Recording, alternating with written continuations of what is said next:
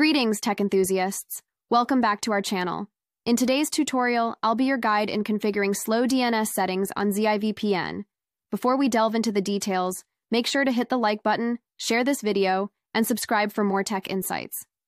Also, don't miss my previous tutorial on creating a slow DNS server. You'll find the link in the description. Step 1. Install ZiVPN. Let's kick things off by heading to your mobile app store. Download and install ZiVPN.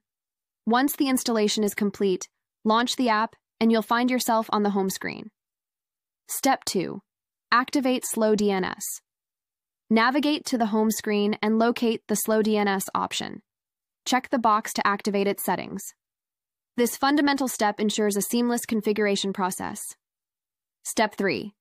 Configure SSH server. Moving forward, input your SSH server details, including IP, port, username, and password in the respective boxes. Afterward, click on the hamburger icon in the top left corner. Step 4. Access Slow DNS. Within the options list, select Slow DNS settings. A pop-up will appear. Input your Slow DNS settings, such as DNS server, name server, and public key. Remember to save these configurations. Step 5. Connect to VPN. We're in the final stretch.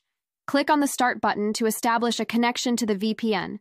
This crucial step ensures a secure connection, providing you with a smooth and secure browsing experience. Conclusion That concludes today's tutorial on setting up slow DNS on ZivPN. I trust this guide was informative. If you encountered any challenges or have questions, drop them in the comments below. Remember to like, share, and subscribe for more tech tutorials.